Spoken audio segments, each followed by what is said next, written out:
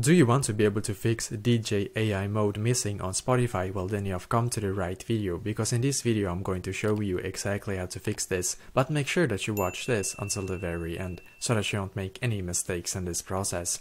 So the first step as you can see I am currently on my Spotify like app right now so basically if you're not getting it on your Spotify app right now then the only way that I've seen that actually can solve this issue is to basically firstly close your Spotify app and then go into your app store if you have an iPhone or Google Play if you have an Android phone and then click on search in here and then search for the Spotify app.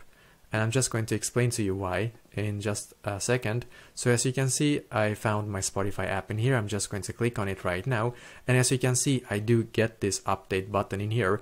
And if you do get the update button, just click on it and make sure that you have the latest update for your Spotify app because that is very important. I have seen that when you when like you do update to the latest version, sometimes this does fix this problem. So if you are like if you do have an update button in here, that means that you do not have the latest version of Spotify right now. So click there, make sure that you have the latest update and then basically you can open the Spotify app again and see if that will work. So basically as of right now, this is like the only way that I have seen at least uh, to solve this issue. So let so let me know in the comments below if you have any questions and I will do my very best to try to help you. And also please leave a like on this video and subscribe to my channel because I'm doing a lot of helpful videos constantly that might be very useful to you. Thank you very much for watching and I wish you an awesome day.